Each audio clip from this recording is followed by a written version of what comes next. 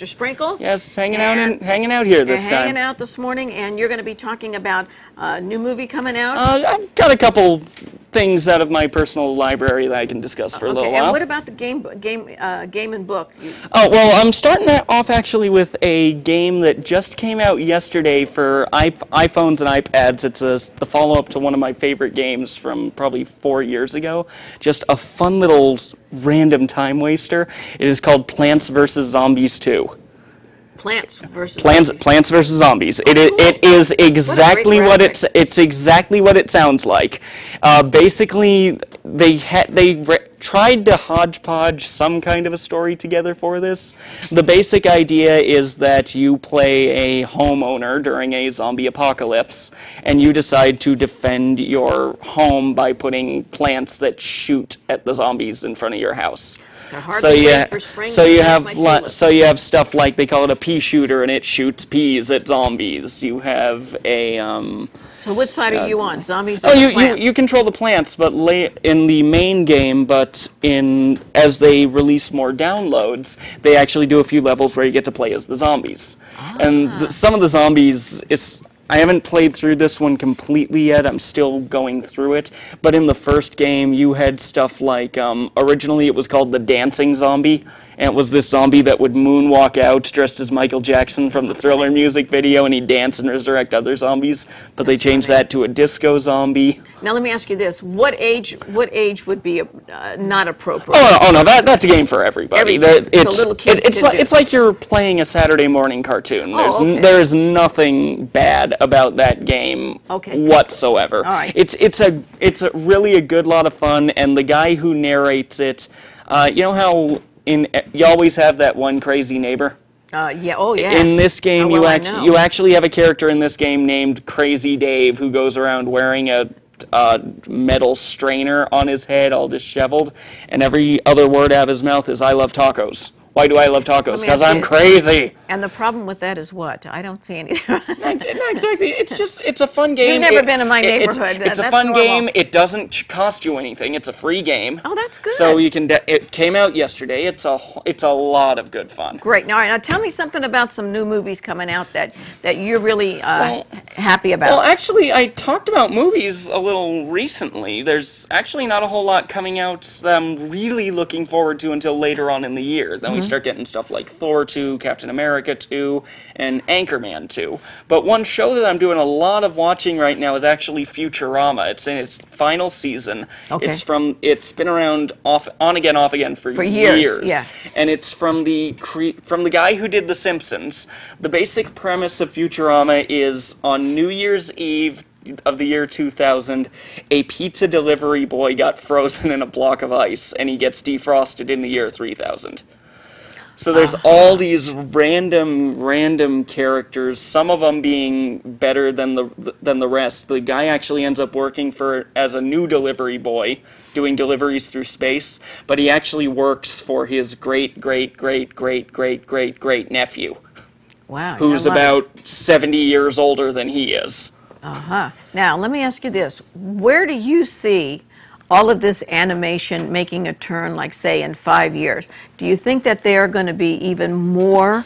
Um, well, uh, The, te- the technology is giving, I mean, it's, it's, it's nonstop. It, it all depends on what story they want to tell.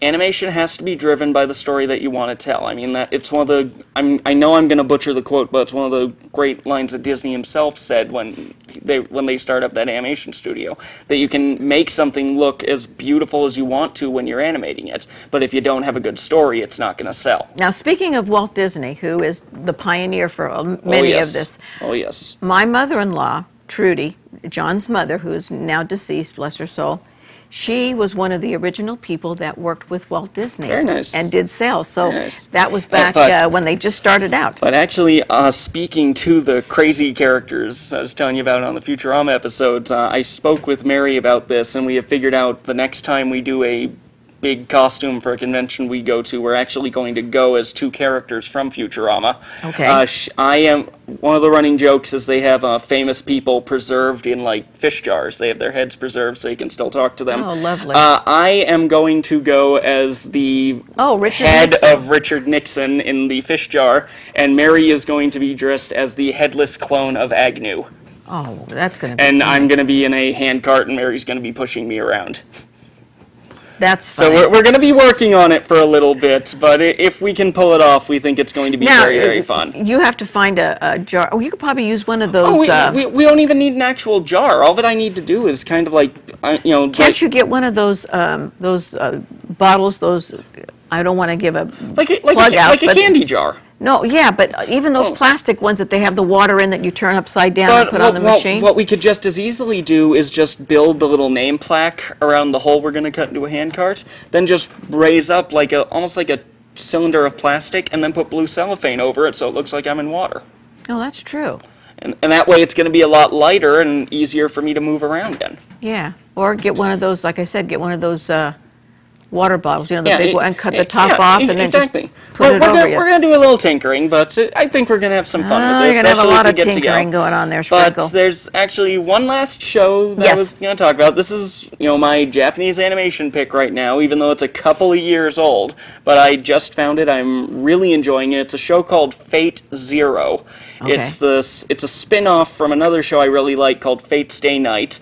The idea of the show is that every couple of years, you have a group of magicians that will battle each other, and whoever comes out on top gets the whole gets to come into contact with the Holy Grail, and the Grail will give them anything they oh, want. Oh, very pretty So what you have is you have them. Some these magicians will summon these people to fight for them, and they're all based off of the greatest heroes and villains throughout history. So you get these really ah. cool new ver- new looks of characters. Alexander the A- Alexander Great. the- in, in Fate Zero, there is just off the top of my head, Alexander the Great, Gilgamesh, King Arthur.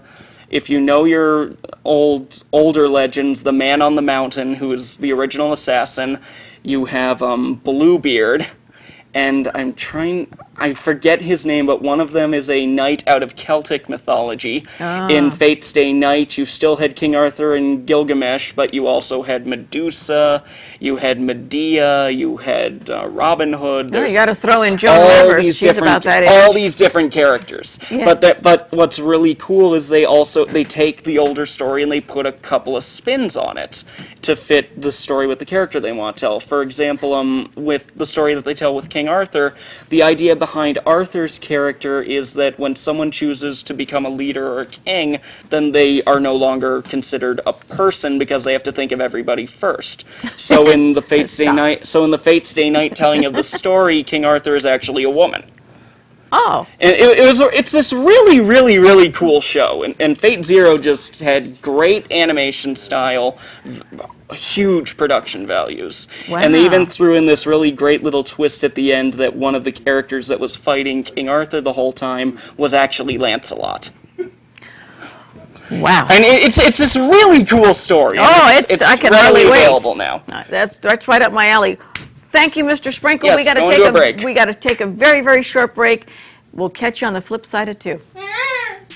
You're watching Amador County's local television network, TSPN. 75th anniversary.